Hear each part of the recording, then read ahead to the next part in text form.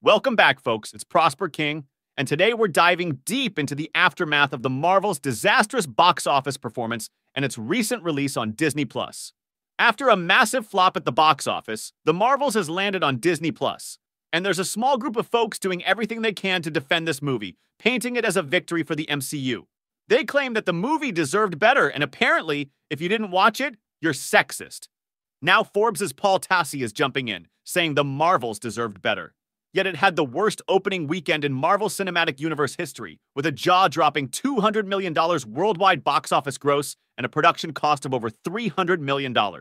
Some tweets are popping up claiming the movie is fantastic now that it's on Disney Plus. And yet The Marvels is still a cataclysmic disaster, a colossal flop in MCU history, and no amount of defending can change that. But what do you think? Share your thoughts in the comments below. Don't forget to smash that like button if you enjoyed the breakdown and subscribe to the channel for more deep dives into the world of entertainment.